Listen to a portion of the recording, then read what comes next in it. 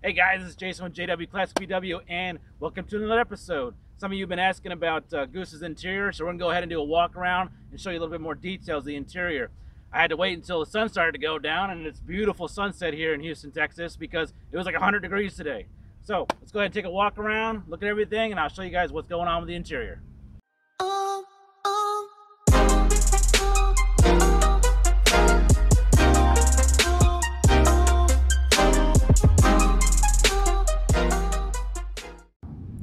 All right, guys, for those of you new to the channel, Goose is a 1956 oval window ragtop.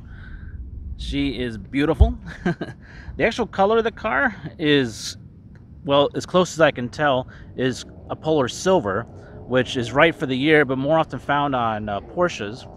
The uh, the color match is is a beige color.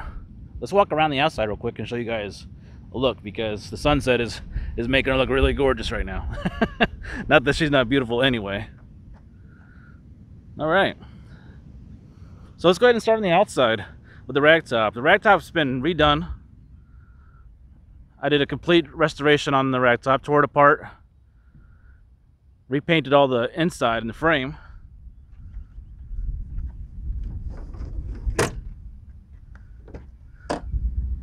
Ragtop from underneath.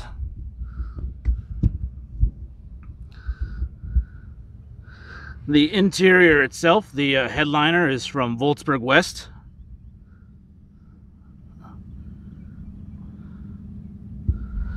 I've got these these heavy duty like race type uh, crow seat belts for the front. They also make those in a in a harness type uh, seat belt.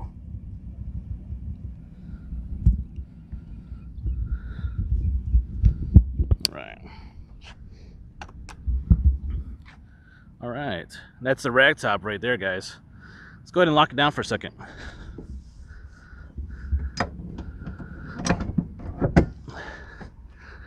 It actually took two rag tops to get this right because I had never done one before. So the first one that I ordered from Wolfsburg West ended up being a template because unlike some of the rag tops for 56, which 56 happened to have a flat piece on the backside, and also 56, 57, but the rag tops had the, the rounded rear rag top.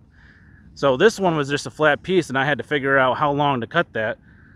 I also added these these little uh, screws in the back here to help hold it down and to kind of give it a more snug look to the top. And I, I do think so. It turned out pretty good.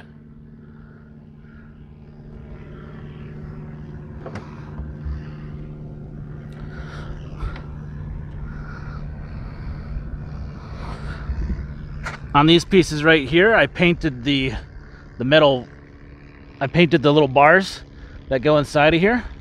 And then I stitched off the end. I sewed up the end right here so that uh, it, the bar wouldn't come out. So let me open that up and kind of show you guys it.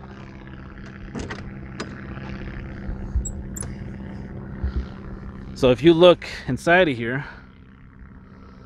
let's see if you guys can see that if you look inside the rag top right here there's a bar that goes across and I stitched that up because it kept coming out of one end or the other. I also made sure I painted that. We can kind of give you an idea of the frame inside. All of this has been painted and redone. Took a lot of time, but it was well worth it. And most of the uh, most of this I found on Chris Vallone in his classic Volkswagen uh, YouTube that he has. I'll link that down in the description for you guys. He doesn't do this type of rag top. He doesn't do the two-fold flat back like mine.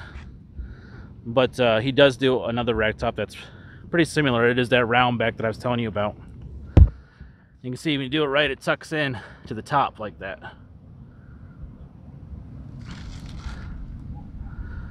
All right.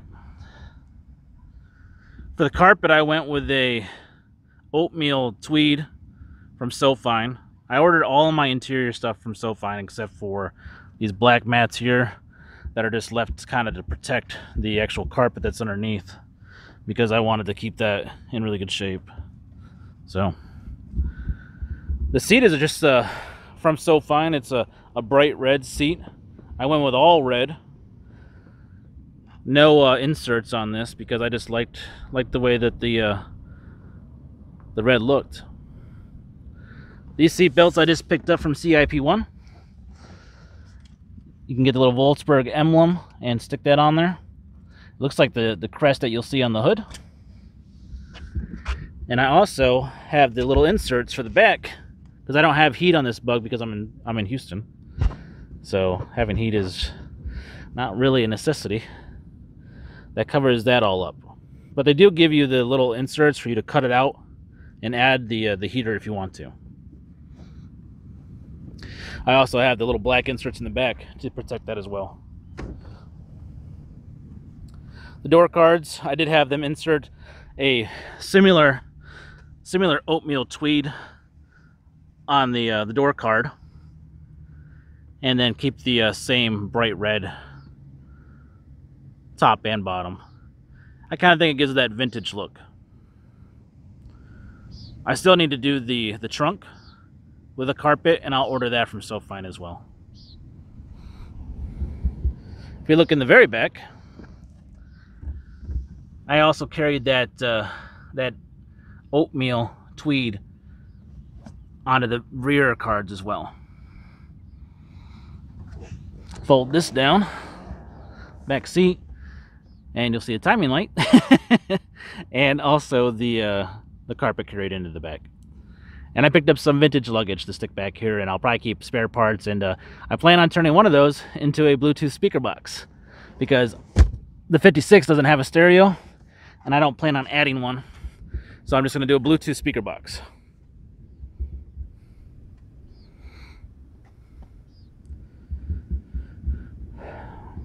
I completely tore down these frames and I picked up some spray paint from one of the big box stores. I think this is this is actually from Home Depot. And they have an almond paint there, a Rust-Oleum almond. And I painted all of the uh, seat frames with that Rust-Oleum almond. One of the things I didn't know about and I couldn't find anywhere but eventually did did uh find it through a photo was on the back side here on your seat. This is a tuck. Like there's two pieces of material that you have to tuck into the rail in the back seat to get that to match up, to get that smooth look. And that took some time to figure that out. But it turned out really nice. All the padding has been replaced on all of my seats, the rear and the front. So that's why you get that really full, really full look to the seat when you have the right kind of padding. One thing I haven't added yet and I will is when I find it are the door handles. You know the little uh, assist straps for the, the rear passengers? I'll add those eventually. Once I find them. I'm sure they're available on the Samba, but I just haven't done it yet. I'm also going to replace these visors with period correct visors. I just, you know, when you're putting together a car to get on the road, you kind of just pick up what you can and make it work. These are original rails, and this is original sunroof car that all all came with this this 56 oval window.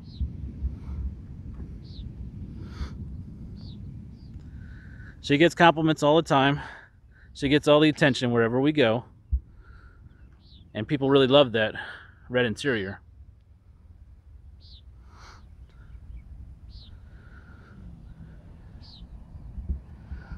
I'm going to add one of the little luggage racks underneath here eventually too. Well, you guys know how that is. We all have things that we're working on and we're going to add eventually. I tore apart the column and the steering wheel and painted that the same color and the horn button painted the same color as the almond spray paint that I used for the frames of the seats.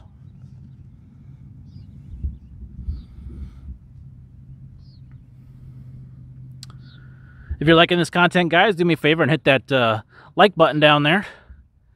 If you're really liking it and you're enjoying what you're seeing, hit that subscribe. And if you're already a subscriber, do me a favor and share. Share with some friends that you think will really like to check out Goose and see what's going on. Some of the things that I used to install the interior were the 3M90 adhesive paint. I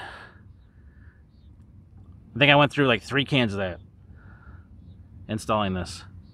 When I originally bought the uh, the car, they had installed the the headliner, but it had some stains on it, so I had to go ahead and take it out and replace that. So that kind of stunk. But I ended up learning that you got to be careful with that contact cement, that contact glue, because you can get a little bleed through. And I, I have a little, I have some bleed through spots in a couple places that I know about. when you're kind of crazy and a little bit of a perfectionist, you uh, you know all the little things that are wrong with your car, right, guys? But I really wouldn't say anything's wrong with Goose. Well, there you go. That's the interior. It's through Sewfine. I'll link them down in the description too. And if you have any questions, just uh, shoot over a comment, guys. Also, my email is in the contact information in the uh, in the description below. So uh, give me a shout if you got any questions. Hey guys, if you haven't done so already, it's summertime. Go out and get yourself a fire extinguisher to keep in your baby. You don't want to have her burn down. I've seen too many uh, posts on Facebook about people that have lost their cars because they didn't have a fire extinguisher with them. Go pick up a fire extinguisher, stick it in the back seat, and always have it ready to go.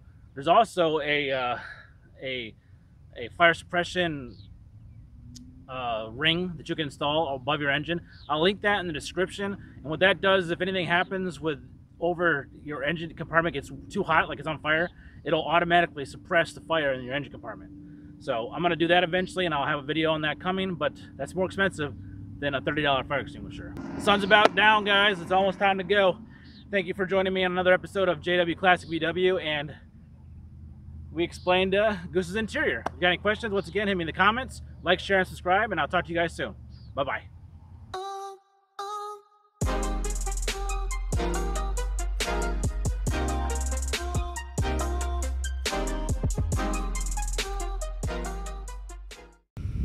There you go, guys. A beautiful, gorgeous Texas sunset. Hope you're all out there enjoying your uh, your Volkswagens and uh, having a good time. Stay safe. Enjoy your weekend. This is Jason with JW Classic VW. Talk to you guys soon. Bye-bye.